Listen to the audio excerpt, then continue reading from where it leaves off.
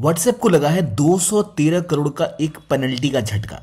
आखिर व्हाट्सएप ऐसा क्या कर रही है जिससे आपका डेटा आपकी प्राइवेसी को सेंध लग सकती है? आपके कॉन्टेक्ट्स आपकी इंफॉर्मेशन क्या वो बिजनेसमैन को बेच रही है? कुछ ऐसे ही संकेत मिले हैं सीसीआई को। और इसीलिए उन्होंने लगाई है मेटा के ऊपर एक पेनल्टी मेटा असल में वो कंपनी है जो ओन करती है व्हाट्सएप को। और ये पेनल्टी कोई छोटी मोटी नहीं 213 करोड़ रुपए की है। और ये क्यों लगी है? क्या इसके मायने हैं आपके और मेरे लिए? क्यों ये बहुत अच्छा कदम है? और अब मेटा क्या करने वाली है? असल में मेटा है क्या? सीसीआई है क्या? इन सभी चीज़ों को जानते हैं। ध्यान से देखिए इस वीडियो को। वेलकम टू ज्ञान कोश 2021 से चला रहा है एक केस जिसमें कि कंपटीशन कमीशन ऑफ़ इंडिया ने व्हाट्सएप की प्राइवेसी पॉलिसी के खिलाफ एक जाँच शुरू की। जाँच ऐसी कि जहाँ देखा जाने लग गया था कि व्हाट्सएप जो आपका डेटा है जब भी आप किसी ऐप को इंस्टॉल करते हो, उसके बाद एक प्रीविसी सेटिंग्स होती है कि I agree to this and this और हर अपडेट के बाद आप देखोगे कुछ कुछ चेंजेस आते हैं। 2021 में इन्होंने एक चेंज किया। उस चेंज के बाद इन्होंने ये बोला कि अपने डेटा को, जो आपके कॉन्टैक्ट का डेटा या आपकी गैलरी का एक्सेस जो इनको मिलता है, किसी भी ऐप को आप कुछ परमिशन देते हैं। उनमें से आप उसको ऐप का परमिशन देते हैं लोकेशन का देते हैं कॉन्टैक्ट्स का देते हैं। तो ये 2021 की अपडेट जब आई, उसको अगर आपने यस कहा है तो उसके बाद ये आपका डेटा शेयर करने लग गया अपने आप फेसबुक और फेसबुक के बाकी यूनिट्स के साथ। यानी आप यूज़ कर रहे हैं व्हाट्सएप लेकिन आपका फेसबुक अकाउंट हो या ना हो, आपका डेटा फेसबुक तक भी पहुँच रहा है। ये सीसीआई ने पाया इसके लिए मेटा को दोषी।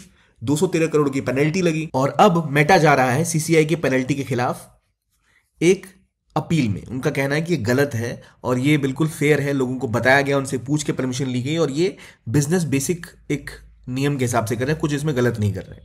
क्या कहानी है ये? तो देखिए व्हाट्सएप और सीसीआई का मामला असल में बहुत पुराना है 2021 से चला आ रहा है। अब 25 मिलियन या अराउंड 213 करोड़ का जो फाइन है, उसकी वजह यह है कि पहले आप समझिए कि मेटा क्या है। मेटा असल में एक पेरेंट कंपनी है। मेटा के अंदर ही फेसबुक है। फेसबुक मैसेजेस हो गए ऑकलस व्हाट्सएप थ्रेड इंस्टाग्राम या रील्स या रियलिटी लैब्स ये सब असल में आते हैं मेटा के अंदर ही। और शुरू में फेसबुक एक कंपनी हुआ करती थी। फेसबुक ने बाद में फेसबुक मैसेजेस शुरू किया। उसके बाद फेसबुक ने इंस्टाग्राम को एक्वायर किया ट्विटर को व्हाट्सएप को एक्वायर किया, फिर ट्विटर का राइवल एक थ्रेड क्रिएट किया, फिर एक रील वाला सेक्शन स्टार्ट किया फेसबुक के अंदर, और उसके बाद ऑक्यूलस और रियलिटी लैब स्टार्ट किया। जब इतनी सारी कंपनीज़ थी तो इन्होंने मेटा बना के मेटा को इसकी टॉप मोस्ट कंपनी बना दिया। बाकी सारी जो कंपनीज़ है, इसकी सब यूनिट बन चुकी हैं। ठीक उसी तरह जैसे हम गूगल समझते हैं, लेकिन गूगल गूगल अब गूगल नहीं रही। असल में अल्फ़ाबेट वो पेरेंट कंपनी है, जिसके अंदर गूगल ठीक है? आपकी गूगल आपका पिक्सल आ गया, जो भी गूगल के प्रोडक्ट्स हैं, सब अल्फ़ाबेट के अंदर आते हैं। उसी प्रकार मेटा इसकी पेरेंट कंपनी है, जिसके अलग अलग कॉम्पोनेंट आते हैं। तो हो सकता है कि केवल आप इंस्टाग्राम चलाते हो और आपको फेसबुक की आदत ना हो। हो सकता है आप केवल व्हाट्सएप चलाते हो और फेसबुक और इंस्टाग्राम ना चलाते हो। कई लोग केवल व्हाट्सएप पर रिलाई करते हैं मैसेजिंग के लिए। वो फेसबुक इंस्टाग्राम यूज़ नहीं करते और वो समझते हैं कि भाई व्हाट्सएप पे मैं काम कर रहा हूँ तो मेरा डेटा हो सकता है या जो भी चीज़ें इन्फॉर्मेशन है, वो व्हाट्सएप के पास है। लेकिन 2021 में एक अपडेट आता है जिसमें व्हाट्सएप बड़े प्यार से एक सिस्टम ऐड करती है कि जो आपका डेटा है, वो मेटा अपने बाकी प्लेटफॉर्म जैसे फेसबुक या इंस्टाग्राम के साथ भी शेयर कर सकेगी। इसके बाद यानी आपकी कॉन्टैक्ट की डिटेल्स जो है, जो अभी तक सिर्फ़ व्हाट्सएप के पास थी इमेजिन करिए व्हाट्सएप को आप कॉन्टैक्ट का डिटेल देते क्यों? इसलिए देते हो कि मान लो आपको किसी को मैसेज करना है तो वो व्हाट्सएप पे है या नहीं, कैसे पता लगेगा? इसके लिए व्हाट्सएप को आपके कॉन्टैक्ट का एक्सेस चाहिए होता है, आपकी लिस्ट का कि भाई किस किस नंबर को आपने सेव कर रखा है, उसको स्कैन करता कहता हाँ ये लोग ऑनलाइन हैं या ये लोग अभी व्हाट्सएप पर हैं, जो लोग नहीं हैं, उनको दिखाता है कि लोग नहीं हैं। तो आपने क्यों दिया ये एक्सेस क्योंकि वो आपको दिखा सके कि भाई कौन कॉन्टैक्ट में है, कौन नहीं है, कौन व्हाट्सएप पर है, कौन नहीं है। लेकिन व्हाट्सएप बड़ी चालाकी के साथ ये डेटा ट्रांसफ़र करेगा फेसबुक को भी अब, ताकि फेसबुक को पता लग जाए अच्छा इस व्यक्ति का ये नंबर है, या इस व्यक्ति का ये नाम है, या इसकी ये प्रोफ़ाइल फ़ोटो है। तो उन तरह की चीज़ों से होता यह है कि जो आपको दिखाया गया कि भाई व्हाट्सएप यूज़ कर रहे हो, पर उसका फ़ायदा इनकी बाकी एप्स भी ले पाएँगी, जो एक तरह से गलत तरीका है, जहाँ आपकी प्राइवेसी का हनन हो रहा है। और शायद इन्हीं चक्करों में आपका डेटा अगर फेसबुक का डेटा अगर अब लीक होता है तो आपका अकाउंट हो या ना हो, जो आपका व्हाट्सएप का डेटा भी फेसबुक के पास है, वो भी लीक हो जाएगा। और आपको पता भी नहीं चलेगा, और कई चीज़ें जो आप देना भी नहीं चाहते फेसबुक को फेसबुक को मिल चुकी है। और ये सब हो क्यों रहा है?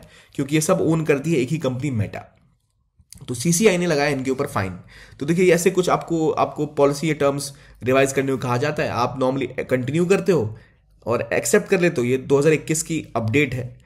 अगर आप इसमें देखोगे तो इसमें बोला गया बिज़नेस में मैनेज कर सकते हैं, और इन्फॉर्मेशन प्राइवेसी डिटेल के बारे में बात की गई है, और इसी के बाद ये मामला शुरू हुआ, जहाँ पर इन्फॉर्मेशन दी जा सकती है। तो मामला पहुँचा कंपटीशन कमीशन ऑफ़ इंडिया के पास। अब कंपटीशन कमीशन ऑफ़ इंडिया क्या है? तो कंपटीशन कमीशन ऑफ़ इंडिया एक स्टैचुरी बॉडी है, जो दो हज़ार दो से चल रही है। इसका काम है ये करना, ये देखना कि कोई कंपनी कॉम्पिटिशन के खिलाफ कोई कदम ना उठाए। मान लो गूगल या फिर एप्पल की बात कर लो, या इवन मेटा की बात कर लो ये ऐसे प्लेटफॉर्म है जिनका बहुत ज़्यादा प्रभाव है अपने कस्टमर्स कंज्यूमर्स यूज़र्स के ऊपर। तो अगर वो ऐसा सिस्टम स्टार्ट कर दें कि मेरी गूगल की सर्विस यूज़ करनी है तो आपको मेरा गूगल का ही लैपटॉप लेना पड़ेगा। तो क्या सही है? एप्पल बोले, अगर मेरा स्मार्टफ़ोन चलाना है तो जितने भी ऐप्स हैं मेरे ही चलाने पड़ेंगे, किसी और के ऐप चलेंगे नहीं। तो वो गलत है। तो ऐसी चीज़ों को रोकने के लिए, ऐसी प्रैक्टिस को रोकने के लिए जो कॉम्पिटिशन के खिलाफ काम करती हैं एंटी कॉम्पिटिशन ऐसे काम को अगर रोकना है तो उसके लिए सीसीआई खड़ा होता है। सीसीआई कहता है कि नहीं, आप ऐसे कामों में इन्वॉल्व नहीं हो सकते। और इसीलिए एक कॉम्पिटिशन एक्ट बनाया गया था 2022 में। उसके तहत सीसीआई को खड़ा किया गया था। सीसीआई में मुख्य रूप से इंडियन बिजनेसमैन जो होते हैं, जो प्राइवेट सेक्टर है, वो भी इन्वॉल्व रहता है। इनका काम है कॉम्पिटिशन को प्रमोट करना। कंपटीशन जब बढ़ता है तो कीमतें गिरती हैं। अगर एक ही मोबाइल कंपनी होगी किसी मार्केट में तो टेलीकॉम के दाम आसमान में होंगे। अगर उस एरिया में दस कंपनीज़ होंगी तो सब आपस में कम्पीट करेंगे तो अपनी सर्विसेज़ को बढ़ाएँगे और दामों को कम करेंगे, ताकि कंज्यूमर उनकी तरफ़ आए। और इसीलिए कंज्यूमर इंटरेस्ट में होता है फ्रीडम ऑफ़ ट्रेड इंश्योर करता है हार्म कॉम्पिटिशन को रोकने की कोशिश करते हैं। ताकि एक दूसरे के खिलाफ कुछ करना प्रिडिटरी प्राइसिंग जैसी चीज़ों को रोकने की कोशिश कि। दाम को जानबूझ के इतना घटा दो कि सामने वाला बर्बाद हो जाए। ठीक है? मान लो आप आलू बेचते हो, आलू की दुकान है आपकी। सामने रिलायंस की दुकान भी आलू बेचने वाली खुल जाए। उन्हें पता है कि भाई मार्केट में और खेतों से आलू जो आ रहा है, वो दस रुपये किलो कीमत आ रही है केवल आलू के उत्पादन में। लेकिन बोलेंगे, नहीं भाई, मैं लॉस खाऊँगा, मैं दो रुपये किलो आलू बेचने वाला हूँ। अब आप बारह रुपये बेच रहे हो, वो दो रुपये बेच रहे हैं। तो कुछ समय में आप क्या करोगे, सारे आलू अपने बेच तो पाओगे नहीं, लोग सब जाएँगे रिलायंस के पास आलू खरीदने या किसी बड़े बिज़नेस के पास जो दो रुपये में आलू बेच रहे हैं। आपका आलू बिकेगा नहीं, क्योंकि आप बहुत महँगा बेच रहे हो। तो आपको लॉस लगेगा लॉस लगेगा लॉस लगेगा, फिर आप अपनी दुकान बंद करके चले जाओगे। तब इस मार्केट में बच गया केवल ये आलू वाला और ये जो पहले दो रुपये में बेचता था, पहले उसको आठ रुपये करेगा दाम बढ़ा के, फिर उस आलू को वो पंद्रह रुपये बेचना स्टार्ट करेगा। तब तो पहले आप थे जो बारह रुपये में इसको बेच रहे थे, अब ये पंद्रह बेचे या बीस बेचे, कोई कॉम्पिटिशन नहीं है। तो जो ये प्राइसिंग थी, इसे कहते हैं प्रिडिटरी प्राइसिंग जो दो रुपए का इसको कर दिया गया था कि कोई और आलू ना बेच सके कंपीट ही ना कर पाए, बाकी सारे मार्केट से बाहर हो जाए। और बाद में बस इसका दबदबा रहे और ये अपनी मनमानी करे मोनोपली करे ऐसी चीज़ों को रोकने के लिए सीसीआई खड़ी की गई थी। तो सीसीआई ने यह पेनल्टी ठोकी है मेटा के ऊपर कि, भाई साहब, आपका काम बहुत गलत है 200 करोड़ से ऊपर का आप पहले फाइन पे करो। ये जो आपकी प्रिवेसी पॉलिसी है, इस प्रिवेसी पॉलिसी में आपने बिना अपने कस्टमर्स को, अपने कंज्यूमर्स को बताए हुए कि भाई जो डेटा है, उसका आप किस तरह यूज़ करोगे? हालाँकि उन्होंने बोला कि अभी जो अपील की है, उसमें मेटा का यही कहना है कि भाई कंज्यूमर को तो हमने कहा था ना, जो यूज़र थे उनको बोला गया था यस करोगे तो आपका डेटा शेयर किया जाएगा। उन्होंने एग्री किया है। तब जाकर हमने शेयर किया और इन्होंने ये कहा है कि ये इंपॉर्टेंट था बिज़नेस की वजह से प्लेटफॉर्म की वजह से। प्लेटफॉर्म इंटीग्रेशन की वजह से। लेकिन कहानी ये कि मेटा एक इतना बड़ा प्लेटफॉर्म है, जिसपे इतने अलग अलग जो इसके प्रोडक्ट्स हैं, हर कोई हर प्रोडक्ट यूज़ ही नहीं करता। मैं जैसे व्हाट्सएप यूज़ कर रहा हूँ फेसबुक हुई नहीं। इंस्टाग्राम यूज़ ही नहीं कर रहा। ये मैसेंजर इनके यूज़ ही नहीं कर रहा। तो मैं क्यों अपना डेटा इन बाकी ऐप्स को देना प्रेफर करूँगा? व्हाट्सएप चलाना आज तो इंसान की मजबूरी हो गई है इंडिया में, क्योंकि हर कोई व्हाट्सएप पर है। तो इसीलिए मेटा अपनी जो मोनोपली है इंस्टेंट मैसेजिंग में, देखिए। WhatsApp is an example of instant messaging इस पर क्या होता है? इस पर आप केवल मैसेज ही करते हो। ऐसा तो है कि नहीं वीडियो चलता है या आप सोशल मीडिया की तरह कुछ काम कर रहा है। बाकी जो आपका इंस्टाग्राम है या फेसबुक है, ये प्रॉपर सोशल मीडिया है। यहाँ आपके पास कॉन्टैक्ट है या नहीं फ्रेंडशिप रिक्वेस्ट भेज सकते हो फॉलो कर सकते हो म्यूज़िक वीडियो सब कुछ। वो इंस्टेंट मैसेजिंग का ऑप्शन उनमें भी है, उनके अपने मैसेंजर्स हैं। लेकिन मुख्य रूप से काम क्या है उनका? सोशल मीडिया इंटरेक्शन तो इसलिए कुछ लोग जो उससे बचना चाहते हैं, वहाँ नहीं जाते व्हाट्सएप यूज़ करते हैं। लेकिन व्हाट्सएप पर अब ये डेटा अगर फेसबुक को मिल जाएगा तो कितना खतरनाक हो सकता है ये आपकी सेफ्टी के लिए, आपकी प्रिवेसी के लिए। इसीलिए सीसीआई ने कहा, ये बिल्कुल नहीं चलने वाला है। और ये कॉन्फ्लिक्ट डिस्प्यूट काफ़ी समय से चला आ रहा है। जनवरी 2021 में ही ये अपडेट आई। उसके बाद सीसीआई ने एक इन्वेस्टिगेशन के खिलाफ लॉन्च करी उसी साल, मार्च में। और उसके बाद व्हाट्सएप और मेटा ने चैलेंज किया कि भाई सीसीआई जो है हमारे एरिया में काम नहीं कर सकता। लेकिन दिल्ली हाईकोर्ट ने कहा कि भाई गलत है सीसीआई प्रोसीडिंग को आगे लेके जाए। फिर एक, जो बेंच था, इन्होंने कहा कि नहीं नहीं, आप ऐसा नहीं कर सकते। सीसीआई की अथॉरिटी है ही करने की।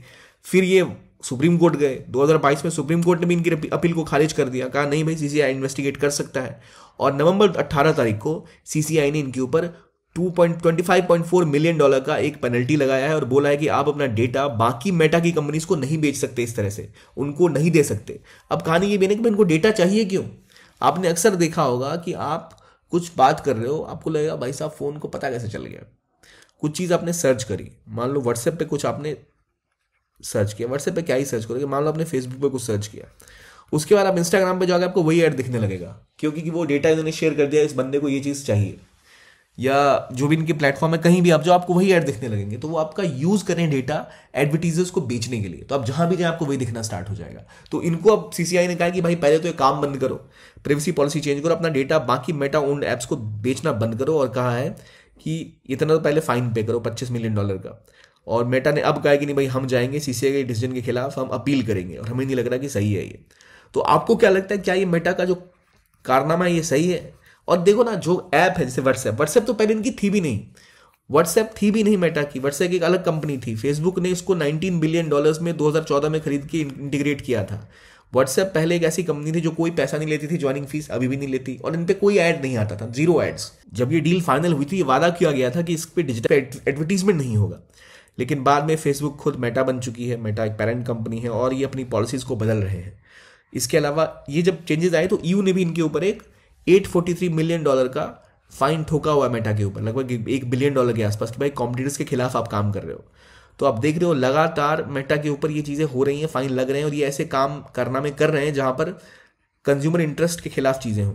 लोगों को धोखाधड़ी का एक तरह का एक तरह का ये एग्ज़ाम्पल है, जैसे कैसे आपका डेटा आपको बिना पूछे वहाँ जगह फैलाया जा रहा है। पर मेटा ये कह सकता है कि भाई आपसे पूछा गया, आपने एक्सेप्ट किया, तभी डेटा दिया जा रहा है बाकी लोगों को। पर क्या किसी व्यक्ति के पास ये ऑप्शन है?